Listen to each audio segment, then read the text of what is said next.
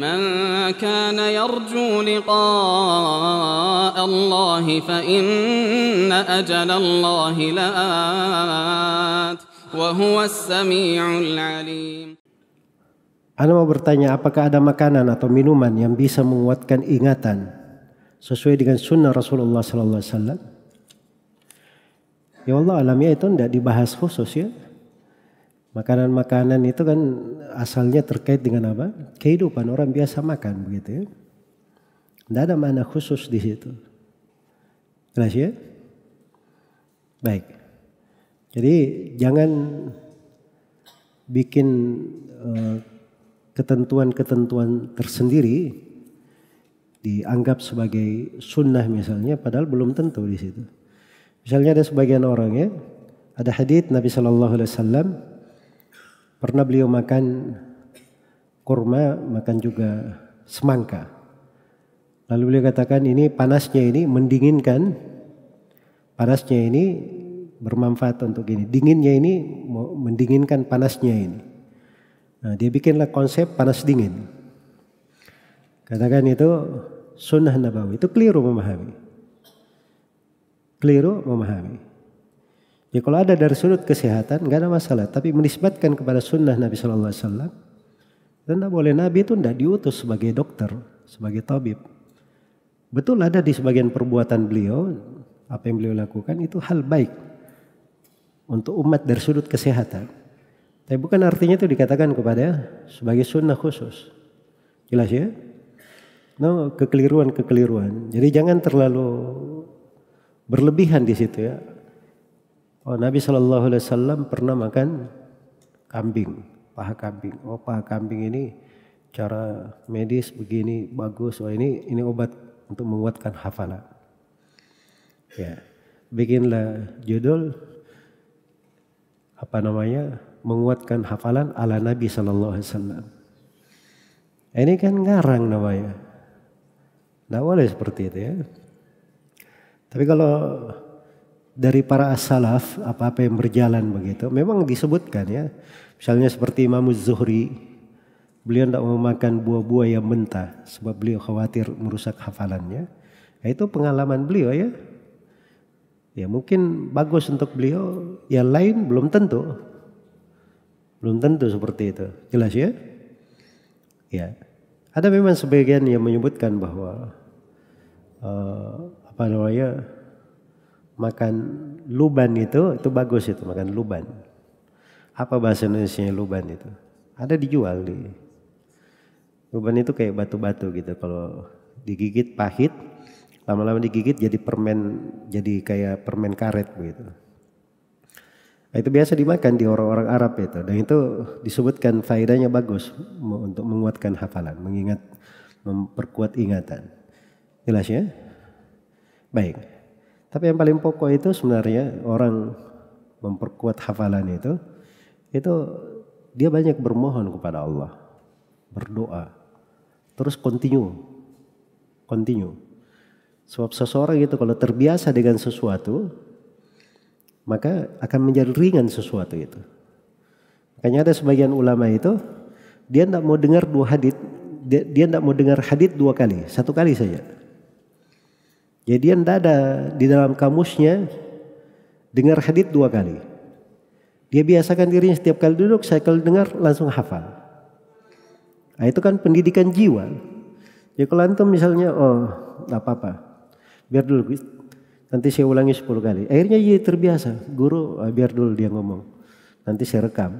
Besok saya meroja. Nah, itu kan jadi cengeng kepalanya. Ya, pikirannya tiap kali guru bicara, dia tidak fokus terus.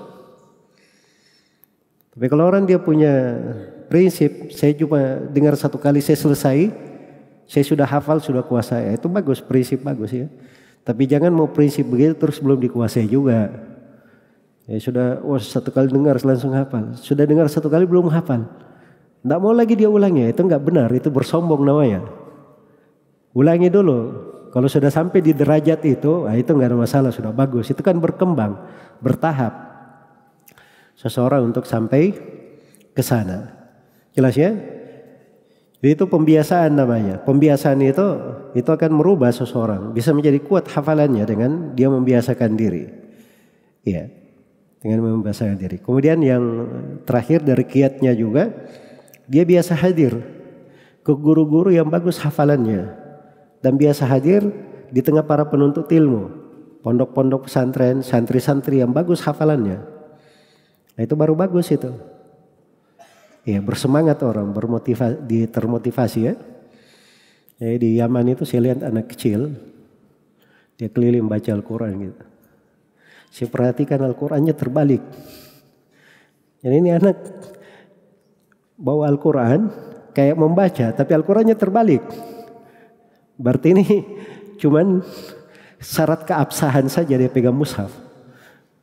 Jadi ternyata anak ini dia itu selepas sholat subuh sudah dikasih apa namanya nomor sama ayahnya. Mushafnya sudah ditandai dari sini sampai sini hafal. Kamu tidak boleh pulang ke rumah sebelum hafal ini. Tidak tahu bagaimana cara yang jelas bawa mushafmu, siapa kamu ketemu, duduk sama orang itu. Tolong bacakan saya dari sini sampai sini. Jadi anak kita dengar. Oh ya, pindah lagi orang lain. Ya, sampai dia muter, dia hafal itu tadi, balik lagi ke orang itu. Sampai dia selesai hafal baru pulang ke rumah ya. Kalau saya nggak salah umurnya belum sampai tiga tahun, tapi dia sudah hafal surah sampai ke surah uh, hari itu surah apa dia baca ya? Surah Al-Waqiah waktu itu dia baca. Sampai surah Al-Waqiah. Jadi sudah selesai tiga juz dia. Masuk ke juz keempat. Jelas ya? Ini anak kecil ini. Ya. Kebiasaan lingkungan kediaman tidak hafal Quran. Itu terasa aneh-aneh sedikit gitu. Kenapa? Sebab tukang bakar rotinya saja hafal Quran. Tukang bakar rotinya yang melayani di anak-anak santri. Dia hafal Quran.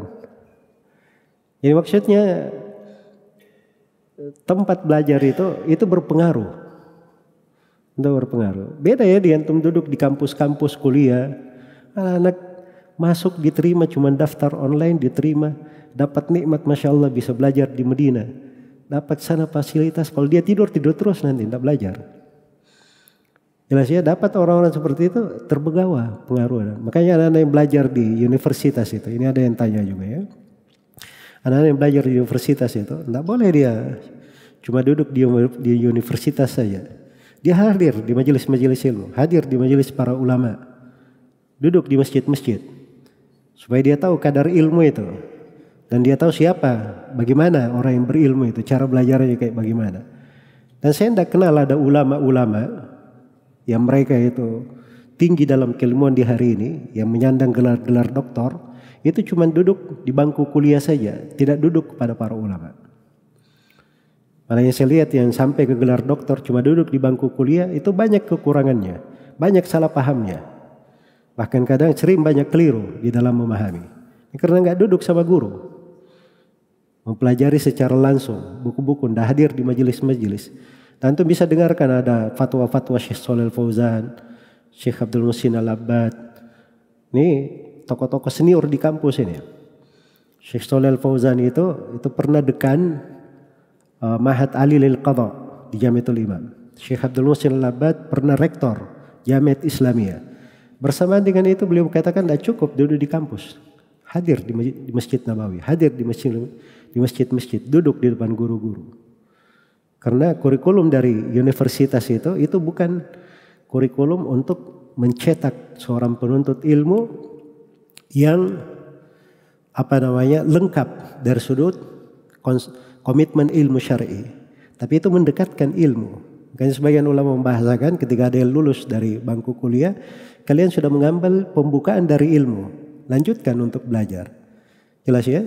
Nah, di sini letak, letak kekeliruan sebagian teman-teman yang belajar kadang kurang memperhatikan dari etika dan tata cara untuk belajar wallahu taala alam.